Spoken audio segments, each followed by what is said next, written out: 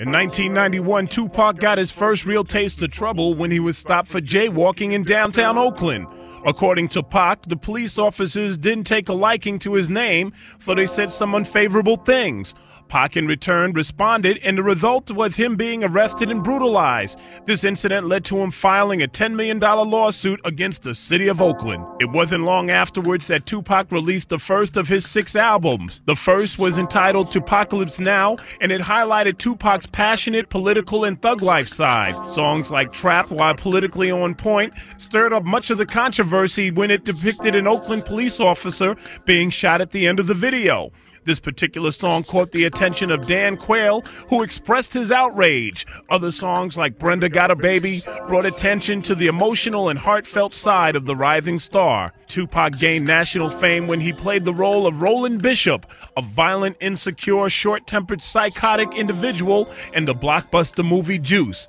Initially, director Ernest Dickerson had invited Digital Underground's Money B to audition for the movie. Tupac went along for the ride.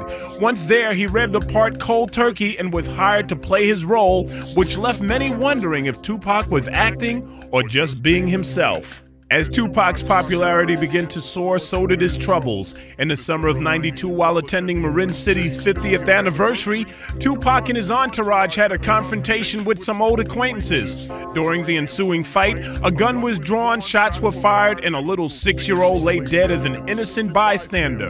Tupac's brother Mercedes, who at the time rapped for the group Tony Toni Toné and later for Thug Life, was arrested and charged. Eventually, he was let go for lack of evidence. Tupac Tupac later found himself embroiled in more controversy when a Texas cop was shot and killed. The widow of the slain officer filed a multi million dollar civil suit against Tupac, claiming that it was his music and lyrics that influenced the young perpetrator to kill. If that wasn't enough, also in that year, Tupac, while visiting the set of Fox TVs in living color, had an altercation with a limo driver.